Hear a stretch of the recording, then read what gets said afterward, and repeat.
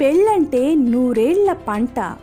నీకు నేను నాకు నువ్వు అంటూ ఒకరికొకరు ఒకరి చిటికన వేలుని మరొకరు పట్టుకొని ఏడడుగులు వేసి తమకే సొంతమైన కొత్త లోకంలోకి అడుగు పెట్టబోతున్న మహోన్నతమైన వేడుక వివాహ వేడుక. అలాంటి ఈ వివాహ వేడుకతో ఒకరికొకరం అంటూ ఒక్కటవబోతున్నారు కొత్తపల్లి సునీత చిరంజీవి. అంగరంగ వైభవంగా జరిగిన కొత్తపల్లి సునీత చిరంజీవిల నిశ్చితార్థం.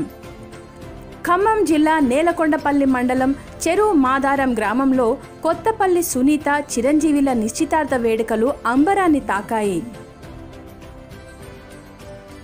ఇవాళ జరిగిన నిశ్చితార్థ వేడుకలో కుటుంబ సభ్యులు సన్నిహితులు పాల్గొన్నారు. వీరిద్దరూ చిలక గోరింకల్లా కలకాలం సంతోషంగా ఉండాలని దీవెనలు అందించారు. శుభాకాంక్షలు తెలిపిన వారు Prakash Ambedkar Nandigama Bahujan Yuddha Nauka. TNB media Andhra Telangana in charge